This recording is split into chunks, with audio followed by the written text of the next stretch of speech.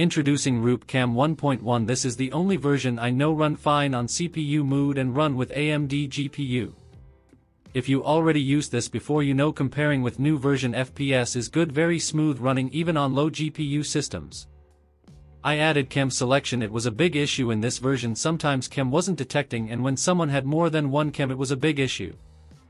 I also added 3D landmark detection this made result amazing more realistic and improved a lot eyes blinking and lips movements and talking.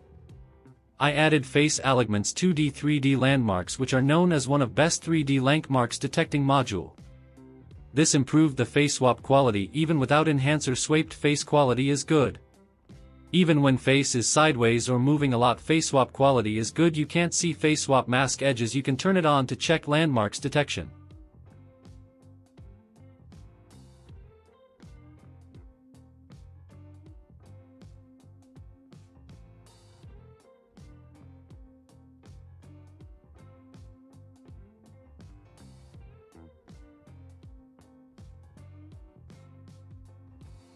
Talking about smoothness compared with real time is very good even on low GPU.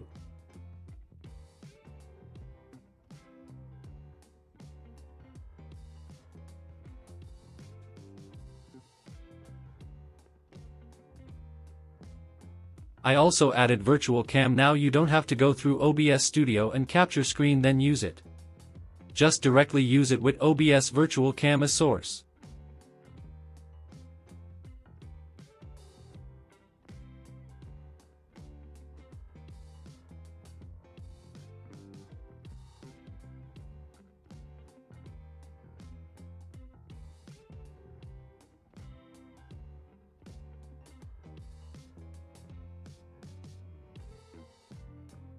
This made video calling easier I hope you like this information. If you got any question or request comment. Don't forget to subscribe to my YouTube channel. Take care.